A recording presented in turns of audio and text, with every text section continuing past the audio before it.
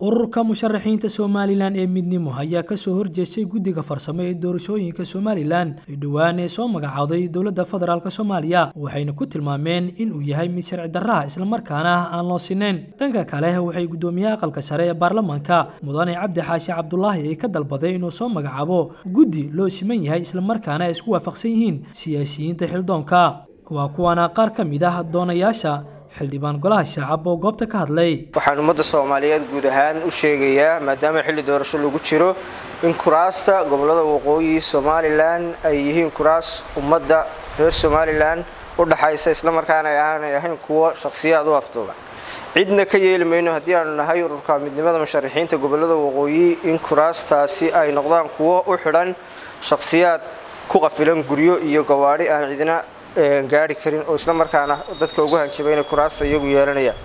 Maadaama ay kuraastu inaga dhexayso waxaa muhiima inaynu helno guddi doorasho oo dhexdhexaada lagu wada kalsoon yahay lagu wada qanacsanya mana yeelayno in shaqaalaha dowladda xubnaha ciidamada ee kala duwan iyo dad aan nidaamka siyaasiga ah ee soomaaliya ee xilligan wax badan kala soconi ay noo noqdaan dhexdhexaadeeyayaal doorasho oo markaana ay iyagu noqdaan kuwo haga doorashadaas nin hulaab xumi inuu xaqarsanayo ayaa la moodaa.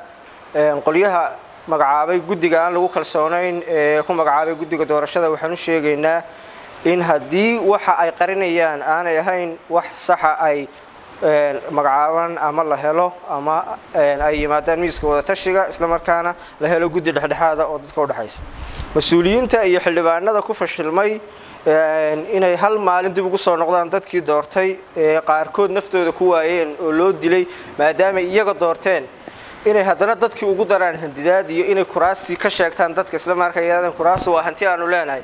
Ma aha mid laga yeelayo waana mid lagula xisaabtamayo.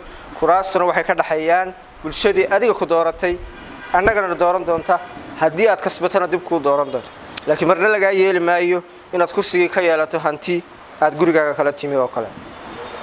Inaad kolba hotel karaysaan islamarkaana ku soo ururisaan dhallinyarada ku tabaalaysan xamar ee iyaga laftooda la soo lugooyey loona sheegay in shaqo loo hayo balse gidaarada lagu ilaaway. Haddana been kale loo sheego layado waa laydin shaqaalinaya kolba meel laga hadalsiiya iyana waa gef kale oo bini-aadanimada iyo soomaalinimada laga galay. Mana aha midaanu aqbali doono haddaanu nahay musharaxiinta u taagan doorashada kuraasta kala duwan ee gobollada waqooyi.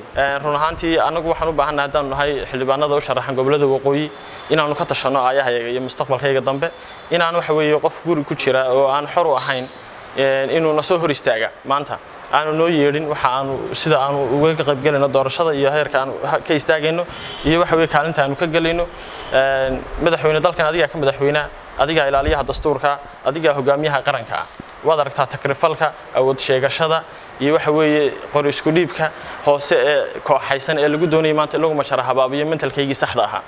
Annagu haddaanu nahay dhallinyarada ka soo jeedo gobollada waqooyi maanta waxaanu diyaar u nahay inaanu qayb ka noqonno dibudhiska dalka inaanu mantallo shacbiyadayda aanay suuragalka ahayn inaan dogaankayga kula noqonno kuraasidayada inaanu waxa weeyaan uga hagarbaxno hiil iyo hooba sidii ay soomaali u midoobi lahayd ninka afartaa sanaba xilka hayay ee isagu doonayey la soo tijaabiyey ee aanu aragnay awooddiisu intay gaadhsan tahay iska daa wax kale kuwii soo doortay dib ugu soo noqon waaye. Naguma sii mandali doono kursiga guddidaasina dhex nooma aha. Waxaan kuu sheegnaa madaxweyne wixii cilib dambeed halkaa ka dhashay inaad adigu mas'uuliyaddeeda qaadayso. Waxaan islahayn muddadii xukuumaddaadu jirtay waanu arkaynay doorka aad ka qaadatay siyaasadda somalilan iyo isku haynta soomaalinimadaba. Waxaanu ku hanweyno onan islahayn madaxweynuhu maalinba maalinta ka dambaysa maantuu wax sii hagaajin doona. Dee aakhirkii markii uu soo gabagaboobay cimri doorasheedkaagii inaad taa kaga sii tagta meesha maanaan rajaynayn. Mudane madaxweyne dastuur ilaaliyaa tahay. Waxa weeyaan qaranka adaa u sarreeya. Waa run annaga xildhibaan aan waxba qabanayn dadkayagii aan mateli karin ma aha inuu mar walba uu soo noqnoqdo. Sidaa daraaddeed mudane madaxweyne waxaan rabnaa isbeddel isbeddel siyaasadeed. Mana doonayno guddida commissionka. Loo doortay ee loo xushay maaha cadaalad mar labaad iyo mar saddexaad baan kuu sheegnay shirar ka horreeyey iyo shirar ka dambeeyeyba saasay tahay waxaanu ku qanacsannahay insha allahu tacaala in wax ka beddel lagu sameeyo. Ugu dambeyn ayaa warmurtiyeed ay soo saareen warbaahinta ay u akhriyeen go'aanka bayaanka midowda ururka musharaxiinta xildhibaanada gobollada waqooyi ee midnimo waa sidan.